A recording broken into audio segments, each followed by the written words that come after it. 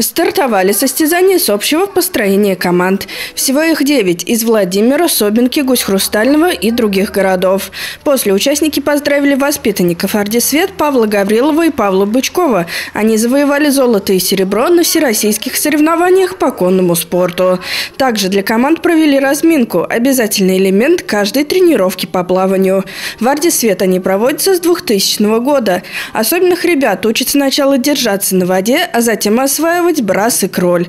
Педагоги отмечают, для многих плавание приносит неоценимую пользу не только в физическом, но и ментальном развитии. Например, вот ребята с аутизмом. Вы знаете, что они ведь даже в воду вступают не сразу. Кто-то там через месяц, кто-то через полгода. И вот э, то, что они перебороли, вот этот страх перед водой, это тоже для них очень много значит. Выступили особенные пловцы в двух возрастных категориях.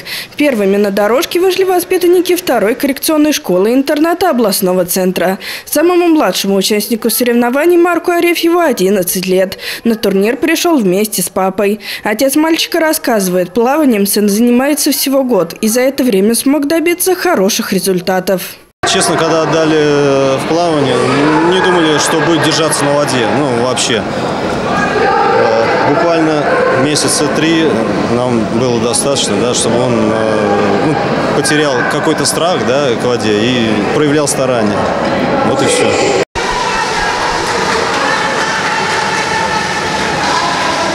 А самыми массовыми стали соревнования среди взрослых спортсменов. В них приняли участие порядка 48 спортсменов разного возраста. Алексей Лобов в бассейне занимается 7 лет.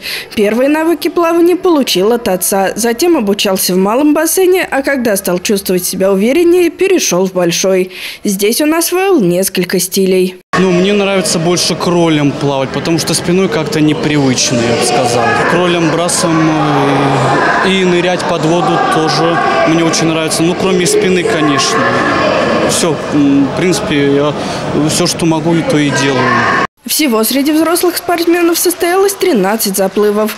Каждого пловца активно поддерживали и зрители, и товарищи по команде. В завершении победители получили медали и дипломы, а все участники – памятные призы. Анна Столярова, Алексей Кандалов, телеканал «Вариант».